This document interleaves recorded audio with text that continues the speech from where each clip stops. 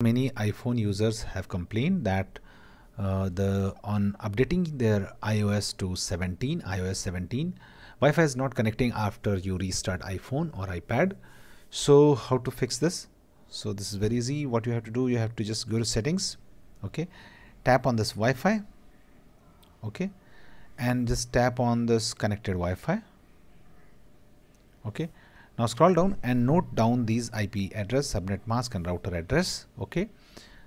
In my case, this is this. In your case, it may be different. Just note these down on a piece of paper or somewhere. Now, what you have to do, you have to just forget this network.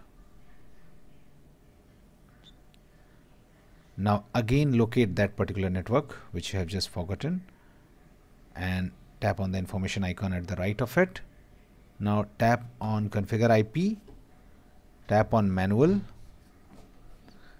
and now enter those details which you have just noted down. Okay.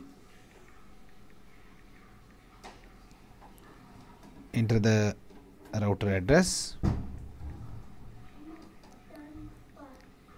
Okay. Now tap on save. And now finally tap on join this network. Enter your Wi-Fi password. Tap on join. And now your configuration is manual rather than automatic and your problem will be solved.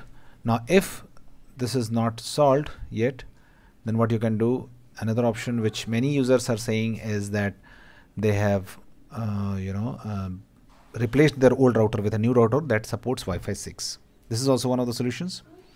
Thanks for watching. Please do like.